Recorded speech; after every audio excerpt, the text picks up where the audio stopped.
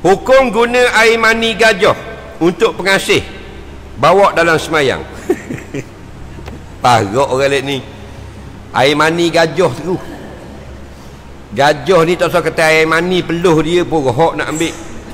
Faham tak nak datang bekeng Neh, air mani tu air mani gajah.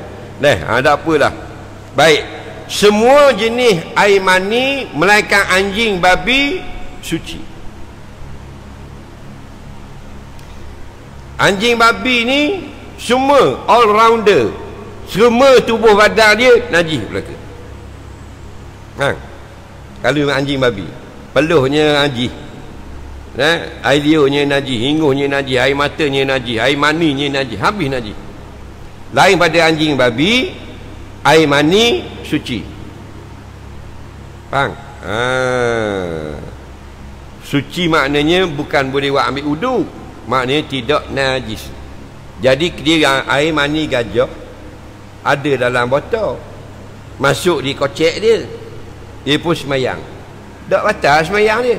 Pasal tidak melanggar syarat sah semayang.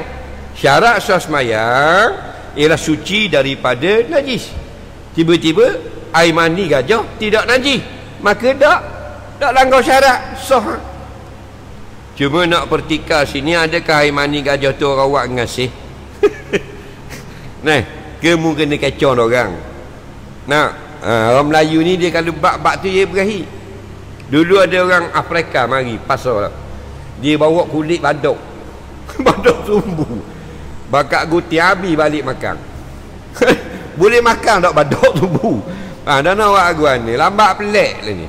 Ha, abi menda makan suruh makan anak katok makan anak katok nak ha neh ha anak tiku nyakit lelah bah anak tiku. Habis nak kira nak bahang selalu. Nak ada berhati-hati langsung kita ni. Soalan seterusnya